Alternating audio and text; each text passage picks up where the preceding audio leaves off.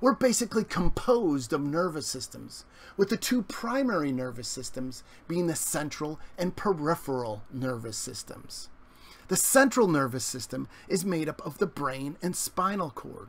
It's the thinking part of us, while the peripheral nervous system is made up of the somatic and autonomic nervous systems. Without us having to think, the somatic and autonomic nervous systems control our basic body functions, muscles, and senses. The autonomic nervous system has two branches the parasympathetic and sympathetic.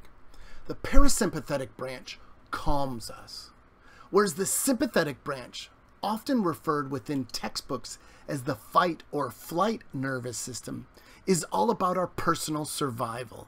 It immediately, automatically, and physiologically reacts to environmental stressors. Before I go on, I feel like I need to let you in on a little secret that only us neuroscientists know about. If you promise to keep this secret, I'll share it with you. Pinky promise? The fight or flight nickname doesn't capture what the sympathetic nervous system is really doing.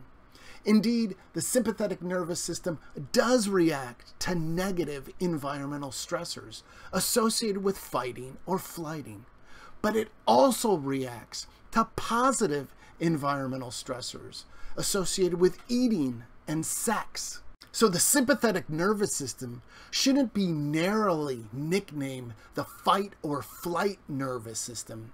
Instead, to be accurate, it should be nicknamed the fight flight, feed, or nervous system.